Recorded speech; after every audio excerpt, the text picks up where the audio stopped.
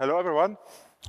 So I would like to talk about Qt Bluetooth on mobile devices, and especially I want to give some kind of some kind of dragon guide, what kind of problems you could face and how to work around them. And now, about me, I'm developing Linux software for 20 years now. Then, uh, when Nokia implement, uh, created their Maemo and MeeGo devices, I helped them with several core components like the address book and so on. Since 2013, I'm working for Claraf Data Consult, and there I, there I mostly work on mobile devices and in this field between mobile devices and embedded devices. So on one side, I have this fun of creating nice UIs with nice experience, but I also can tinker with hardware, which is fun, in my opinion. So I just give a short overview what I understand on the mobile platforms, uh, maybe also an introduction to Bluetooth, and then let's go through the main topics and what problems we see. Mobile platforms by today is a bit boring. Before we had various platforms from, from Nokia, from Hewlett Packard, from Research in Motion, from Canonical, from Microsoft. They all gave up. Now we only have Android and iOS left which basically means if someone arrives and talks to you about other platforms, about supporting them, just give them an iPhone to make them shut up. It's not worth to support them anymore. It's sad, but it's like that. Just setting up the CI for, and there's a build infrastructure, and the CI is more expensive than the iPhone.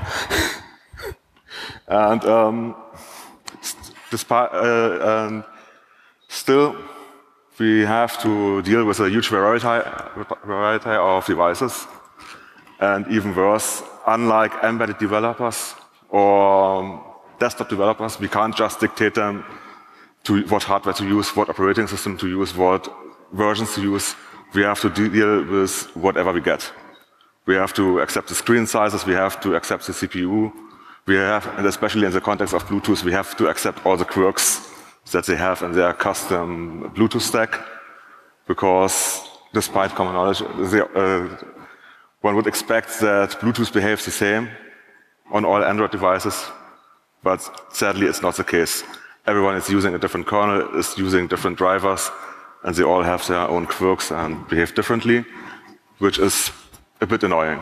Actually, who is using mobile devices and developing for them? Okay, so great. And now that we look at Bluetooth, who is dealing with Bluetooth there? Who likes the experience? Who doesn't like it? okay. so Bluetooth is an old standard. It's actively developed and established. We all know it shares its bandwidth with several other uh, license-free uh, networks.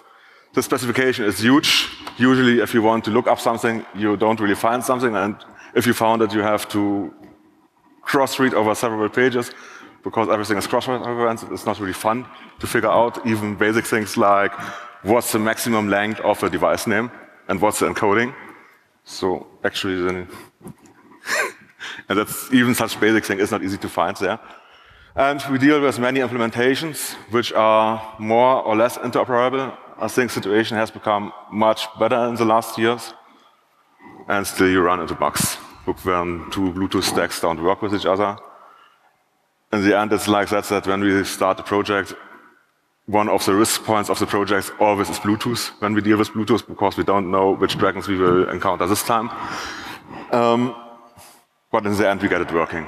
It's not like that we had to give up somewhere, but it's usually a fault to get it working. So if it's all that annoying, why we don't just use Wi-Fi? It's easy, it's fast, it's just the same kind of protocols we use for internet and so on. Well, one issue, you can't really discover if uh, interesting is Wi-Fi is nearby. To do, so, to do so on iOS, you have to get special entitlements for your application, which Apple has to sign.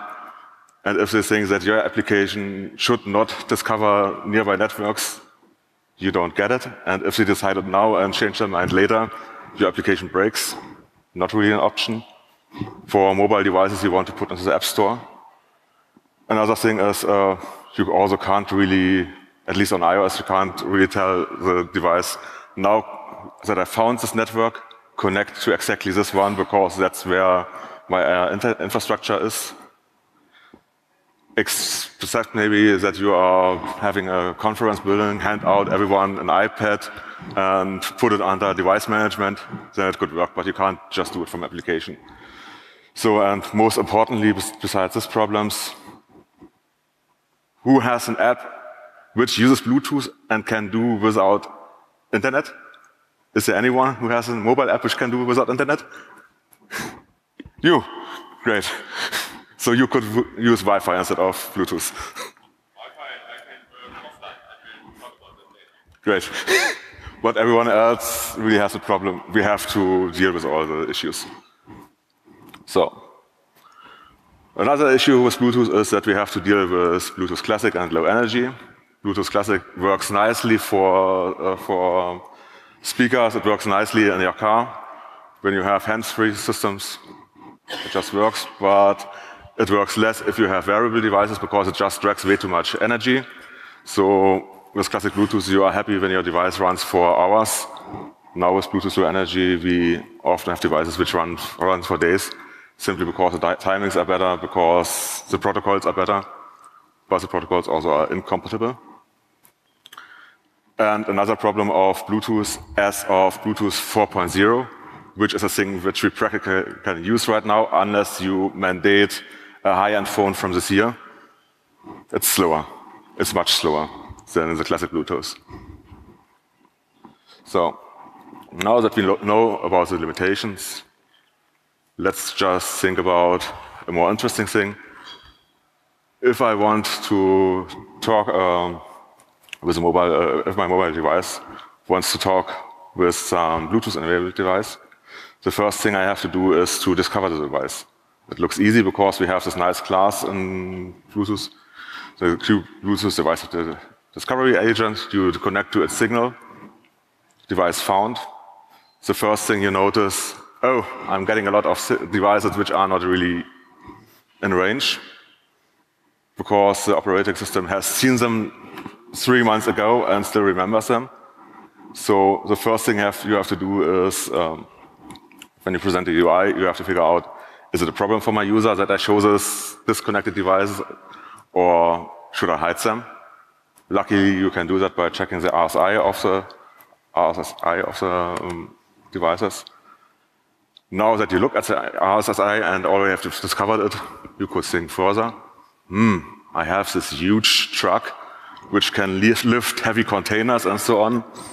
If I operate it by Bluetooth, maybe I should do some uh, security measures and only let it operate when I'm standing in front of the truck and can press this emergency stop button.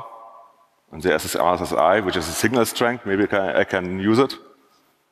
Well, if you control both Bluetooth chips, the one in the embedded hardware and the one in your maybe remote control. It really works. And the Meiller guys, for instance, are doing that. They are checking the signal strength and implement some uh, safety measures. If you are using, um, if you are targeting real mobile devices like, uh, like Android phones, it doesn't work at all. We did tests there in the construction hall of Meiller went behind the truck with a lot of steel where you would accept that the signal strength drops. Signal strength drop, drops. No, still uh, the signal still was reported as strong as it, for, uh, as it should be. We went something 100 meters away from the truck. At least there, the signal strength should drop. Well, our connection was getting worse. We couldn't really get packets through. The RSI, RSSI reported still was at 100% in perfect uh, reception and so it's, it's a mess. Don't use it. In Bluetooth 5, you will find some new attributes which can report the strength more accurately. If this works, I'm still skeptical, and especially if it's uh, implemented properly, so forget about this for detecting proximity. You can't, unless you build multiple, build some custom solution. So, another problem when you are doing the device discovery is that most Android implementations of Bluetooth just don't care that you only ask for low energy devices. It will happily report you also all classic only devices which are nearby. And even worse, you have this nice, then you think you could filter them out because there's this nice uh, configuration class, uh, a core configuration field in Qt device info. The field is just wrong. Not because Qt is bad, just because we really get wrong information from the underlying stack. So you can't filter by that. Great. So, and then we also ran into a really curious bug on iOS because we couldn't detect our devices like that. We returned, we went to putting some device identification in the device name, which became unnatural long, longer than 20 bytes. And suddenly we were receiving, uh, iOS was reporting us just the first 20 bytes of this name and forgetting all the rest, which simply is because the way Bluetooth Low Energy works, the device discovery works, there are some beacons sent which have space for exactly 20 bytes. And if you want to know more, you have to query the attributes, the, the, the GATT double attributes of the device name. Android is doing that sometimes, uh, iOS is doing that sometimes, but not always. So what we also had to do is when we get the device list, we had to filter the result, and if we already got a good, good device name for one device, we would ignore any new short device name just to not mess our to not mess up our lists, which is one of the dragons. took us took us some while to figure out why we suddenly couldn't detect our trucks. so now let's assume we have solved all the problems of finding devices which the user could connect to. We still have to figure out which services are available. And that's normally done in, in classic Bluetooth via the service discovery pro protocol. You define a unique identifier, uh, put some meta information there, uh, like the RF, RFCOMM channel, and then you can connect to it easily.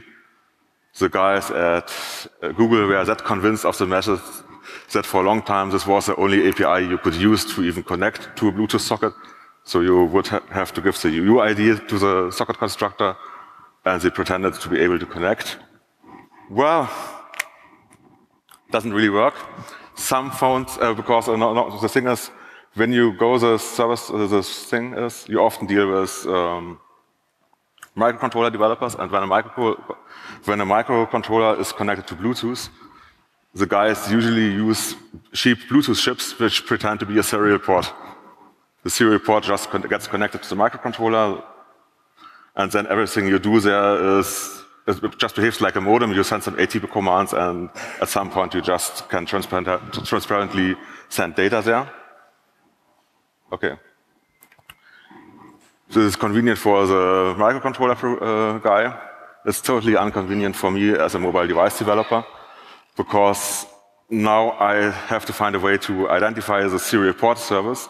So what I would do naturally when following the Bluetooth ideas and the specification, I would just invent my own uh, unique ID, put it there, search for this ID and connect and be happy.